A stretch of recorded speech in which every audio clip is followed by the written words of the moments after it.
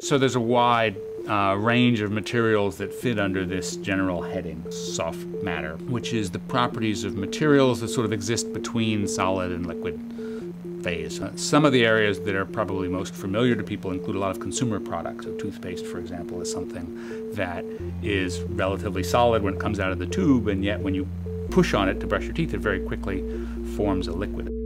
Food is another big class that we're all quite familiar with, where most of what we eat is somewhere between solids and liquids. For example, the folks who are trying to make low fat products that have the same taste and mouthfeel as the full fat products need to know a lot about the structure of the material on the microscopic scale and then how that structure affects these uh, characteristics that the consumer cares about.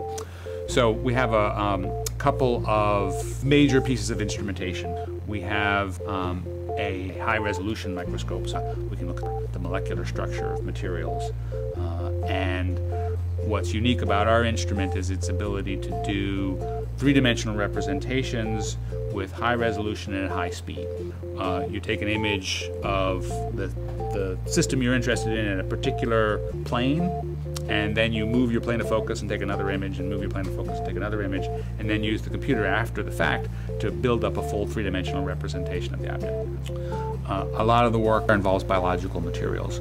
We're looking at things like mechanical properties of collagen, which is the, uh, it's the most abundant molecule in our bodies uh, and is the sort of primary uh, constituent of, of, the, of, the, connective tissue, the things that, that, holds us together. And so it's important to understand how it behaves, when it misbehaves, either because of a disease or because of some genetic disorder. I'd like to understand why the changes in the molecular structure bring about the changes in the physical properties that, that cause us trouble and how we might go about uh, remedying that.